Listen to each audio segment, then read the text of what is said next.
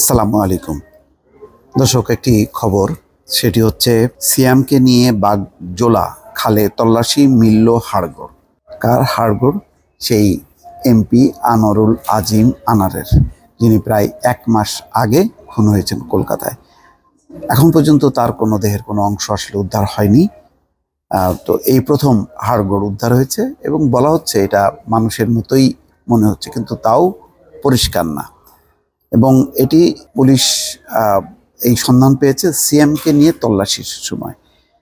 খবরে বলা হচ্ছে যে ঝিনাইদহ চার আসনের এমপি আনোয়ারুল আজিম আনার হত্যার অন্যতম আসামি সিয়াম হোসেনকে নিয়ে কলকাতা সংলগ্ন দক্ষিণ চব্বিশ পরগনা জেলার ভাঙড়ের কৃষ্ণমাটি গ্রামের বাগজোলা খালে তল্লাশি অভিযান শুরু করেছে কলকাতা পুলিশ। অভিযানের শুরুতেই সেখানে সিএমের দেখিয়ে দেওয়া স্থানে পাওয়া গেছে একাধিক হাড়গোড় রোববার সকাল আটটা থেকে শুরু হয় তল্লাশি অভিযান। এর আগে ষোলো দিনের বেশি তল্লাশি চালিয়েও কিছুই উদ্ধার করা যায়নি তার দেহের কোনো অংশ।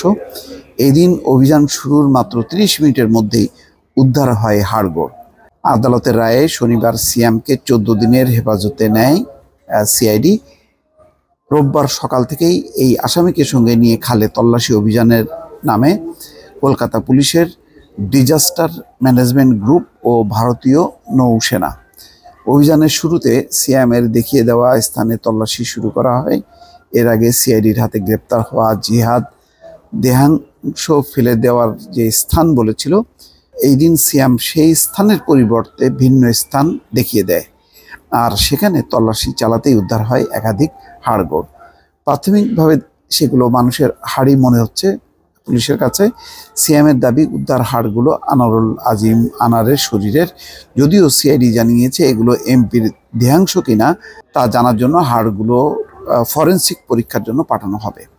সিয়াম হোসেনকে চোদ্দ দিনের জন্য রিমান্ডের নির্দেশ দিয়েছে আদালত। শনিবার দুপুরে কলকাতার স্থানীয় সময় দেড়টার দিকে পশ্চিমবঙ্গের উত্তর চব্বিশ পরগনার বারাসাত জেলা ও দায়রা আদালতের বিচারক সঙ্গীতা লেটের আদালত রিমান্ডের এই আদেশ দেন। আদালতে সহকারী পাবলিক প্রসিকিউটর মন্দাক্রান্ত মুখার্জি জানান সিয়ামের বিরুদ্ধে ভারতীয় দণ্ডবিধির বিভিন্ন ধারায় জামিন, অযোগ্য ধারায় মামলা করা হয়েছে। পাবলিক প্রসিকিউটর আরও বলেন সিয়ামের বিরুদ্ধে মামলায় পুনর্নির্মাণ এমপি আনারের আনারের লাশের টুকরার সন্ধান, হত্যায় কী কী অস্ত্র ব্যবহার করা আছে সেগুলো উদ্ধারসহ উদ্ধার তদন্তে গতি আনতেই সিয়ামকে চোদ্দ দিনের হেফাজত চায় সিআইডি, এরপর শুনানি শেষে আদালত তা মঞ্জুর করেন। তেরোই মে তিনি নিহত হন। তো বলতে গেলে প্রায় এক মাস হয়ে গেল। তো এখন পর্যন্ত আনারের যে অবস্থা, তাতে কোনো রকমই আলামত পাওয়া যাচ্ছে না। আর আলামত যদি না পাওয়া যায়, তাহলে এই মামলা পরিচালনা করা এগুলো প্রমাণ করা যে এরা এরা হত্যার সঙ্গে যুক্ত, সেগুলো যথেষ্ট কঠিন। এর মধ্যে বাংলাদেশ থেকে একটা ডিবির দল গিয়েছিল ভারতে।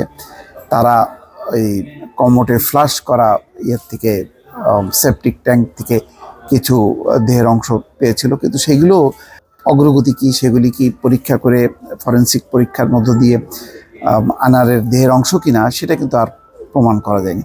সব কিছু মিলিয়ে কিছু লুকো ছাপা রহস্য রয়ে গেছে। শেষ পর্যন্ত এই আনারের পরিণতি বা এই মামলার কি ফলাফল দাঁড়ায় সেটা মানে যথেষ্ট সময় সাপেক্ষ বলে মনে হচ্ছে।